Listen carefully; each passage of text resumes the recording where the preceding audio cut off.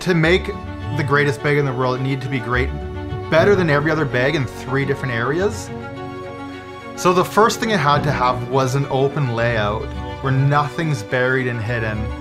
The second was when it had to have a tabletop.